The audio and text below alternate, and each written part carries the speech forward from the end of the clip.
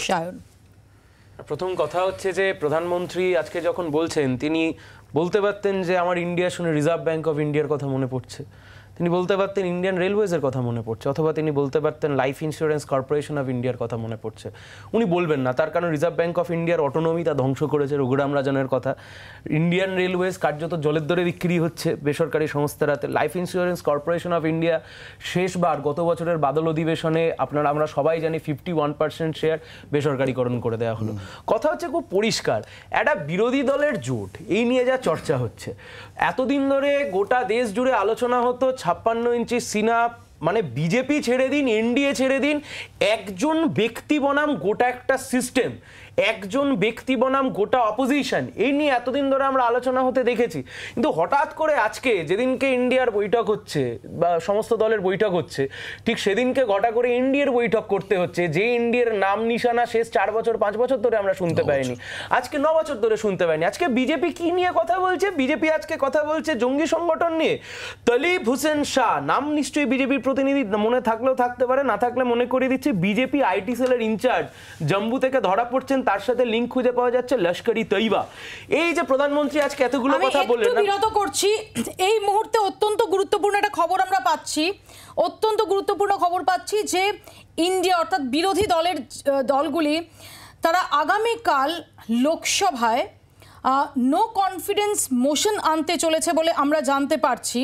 আহ, Manipur violence নিয়ে যে প্রধানমন্ত্রীর বিবৃতি দাবি করা হচ্ছিল পরিপ্রেক্ষিতে যে ডেভেলপমেন্ট যেখানে বিরোধী দলগুলি এবং যার একদম অগ্রভাগে থাকছে কংগ্রেস এবং তৃণমূল কংগ্রেস এবং কংগ্রেস এবং তৃণমূল কংগ্রেস তারা একে অন্যের সঙ্গে এই নিয়ে আলাপ আলোচনা করেছে বলে আমরা জানতে পারছি। অর্থাৎ এই কোঅর্ডিনেশন এই সমন্বয়ের ক্ষেত্রে এই সমন্বয়ের ক্ষেত্রে কংগ্রেস এবং তৃণমূল কংগ্রেসের একটি গুরুত্বপূর্ণ ভূমিকা রয়েছে বলে সূত্রের খবর এবং আহ, আহ, তা- তাদের তাদের উদ্যোগে এই নো কনফিডেন্স মোশন আনা হচ্ছে আগামীকাল, আনা হচ্ছে বলে আমরা জানতে পারছি। আমরা এই সম্পর্কে আরও বিস্তারিত জানব।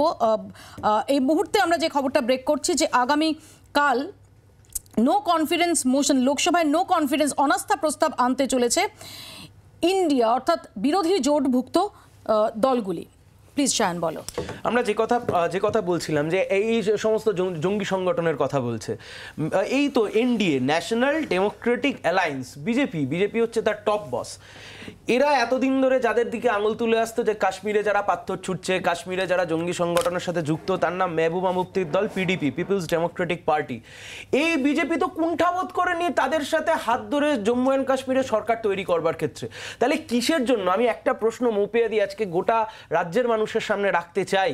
যে বিরোধীরা, যে কথা কংগ্রেসের প্রতিনিধি এখানে বলবার চেষ্টা করছিলেন, বিরোধীরাও যে প্রসেসে নির্বাচিত, দেশের শাসক দলও একই প্রসেসে নির্বাচিত পার্লামেন্টেরিয়ানরা তারা বসে যখন কথা বলছেন বা পার্লামেন্টেরিয়ানরা যদি নিজেদের মধ্যে একটা কোয়ালিশন তৈরি করেন, তাহলে সেই কোয়ালিশন ইজিক্যাল টু একটা জঙ্গি সংগঠন। কথা কে বলতে পারেন? দেশের নির্বাচিত প্রধানমন্ত্রী কীভাবে এ ধরনের মন্তব্য করতে পারে? না, শেষ একটাই কথা বলছি। উনি বলছেন, নামে ইন্ডিয়া থাকলেই সবাই দেশপ্রেমী হয়ে যায় না। ঠিক কারোর দলের প্রতীক যদি জাতীয় ফুল হয়, পদ্ম, তারপরেও যে তারা দেশের সম্পদ বিক্রি করতে পারে আর দেশের তজনজ করতে পারে, এ নিয়ে কোনো সন্দেহ, কোনো কোনটা আজকে অন্তত দেশের মানুষের মনের মধ্যে নেই। বাংলার আওয়াজ, বাঙালির আবেগ। জি, চব্বিশ ঘণ্টা।